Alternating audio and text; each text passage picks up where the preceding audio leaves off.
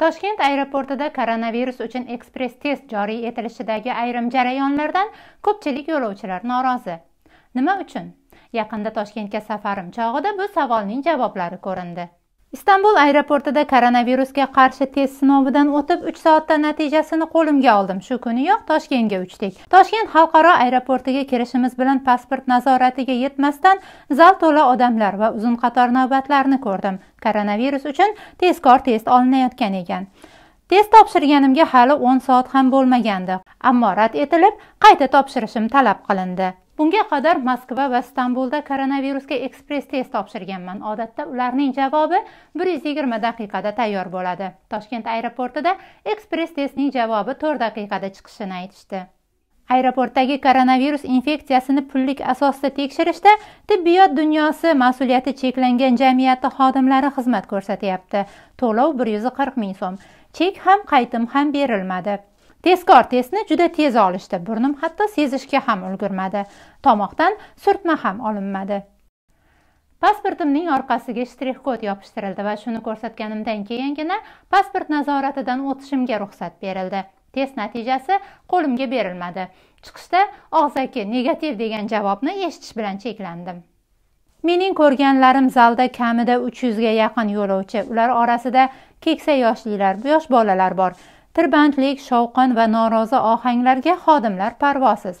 Ijtimoiy masofa unutilgan odamlar sarosimada. Yonida puli yoki o'zbek so'mi bo'lmaganlar chora izlashyapti. Xodimlar aeroportdan tashqaridagi yaqinlari pul olib kirishini tavsiya qilishyapti.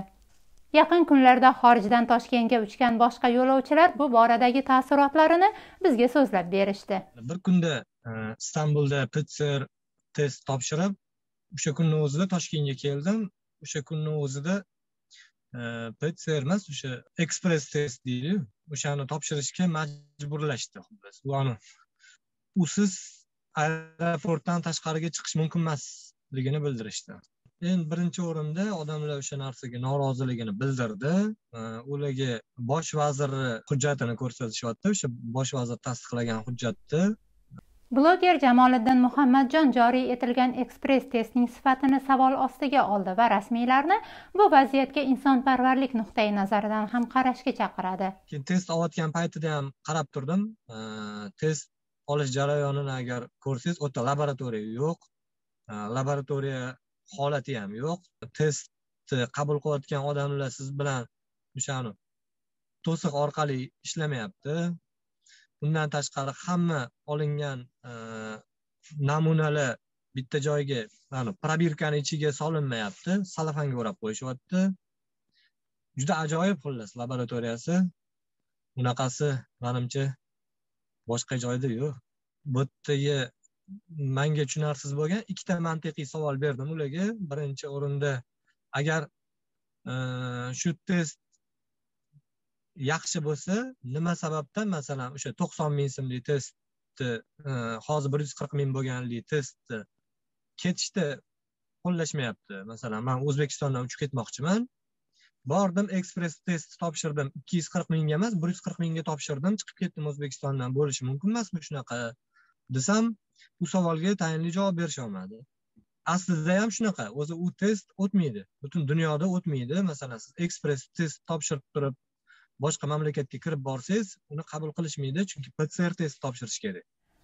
Amerikadan istanbul orqali toshkentga uchgan umid yoqubov toshkentga maktab o'quvchisi bo'lgan farzandi bilan qaytgan. Talabalarga chegirmali testdan foydalanish maqsadini bildirganida aeroport xodimlari bolaning qayerda o'qishini so'rashgan. Amerika maktabida ekanligi aytilgach chegirma talabalar uchun ekanligi maktab o'quvchilariga amal qilmasligi to'liq narxda test topshirishi aytilgan. Pasport kontroliga bordi nazoratda tursa bunaqa qarayotdi qayerdan keldingiz deyapti amerikadan keldim turkiya orqali desam bunaqa qaradi istanbuldan mana istanbul reys turibdi. Mana shu reysda keldim mana desam. Keyin baqirib qoldi va ichida o'tirib. Keyin manga qarang mana buni samarga qo'yishibdi dedi. Nima samara uradi desam mana samara reysi nomini o'qiyapti man ahamiyat bersam pasportimizni orqasiga stiker yopishtirib qo'ygan ekan man qo'rqishga tushdim voy janvar mani hozir ikkalovizani yana tepaga chiqarib yuboradi yana qaytib shu budkaga borishim kerak и boshqatdan odamlar tugagandan keyin urdirishim kerak ko'zimni oldiga faqat o'sha narsa kelyapti indamasdan qarab turaverdim shunaqa desam zarur qo'yishdi u bu desa qilib и so'kdida appa deb yuboring deb baqirdi o'zim ham kulib yubordim voy dedi все понятно sizlar bilan все понятно umid yaqubov esa aeroportdagi bu vaziyatning o'zbekistonning keyingi yillarda eng ko'p e'tibor berayotgan jihati imiji bilan bog'liqligi masalasiga to'xtaldi. O'zbekistonni e, oldimda turayotgan turklar yoki boshqa millat vakillarini turkmaslar ham bor edi asosan turkiya orqali kelishayotgancha boshqa millat vakillari ham o'shalarni ko'zidagicha sarosimalikni ko'rib qo'rquvni ko'rib borib man aytdim bularni birinchi taassuroti e, ishonch bilan aytishim mumkin ijobiy emas.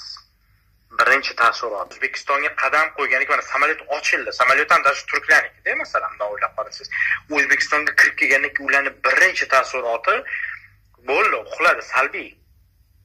Salbiy. Man aniq aytishim mumkin. Man o'zbek bo'lib turib mana shu yerda o'sganman. Hozir yashamasam lekin mana shu yerda o'sganman. Manda unaqa kulturni shok bo'lmasligi mumkin. Lekin boshqalarni anaqasini boshqalarni ko'zidek bo'layotgan ularni sarosimaligini sarosimaga tushganini ko'rib ishonch bilan aytishim mumkin. Ularda hech qanaqa ijobiy taassurot bo'layotgani yo'q edi o'sha yerda. Bbc o'zbek xizmati toshkent aeroportidagi koronavirusga ekspress test olinishi bilan bog'liq vaziyat bo'yicha izoh olish maqsadida o'zbekiston havo yo'llarining rasmiy saytidagi elektron manziliga facebookdagi rasmiy sahifasining xabar qoldirish va u yerda ko'rsatilgan elektron manzillariga maktub yo'lladi.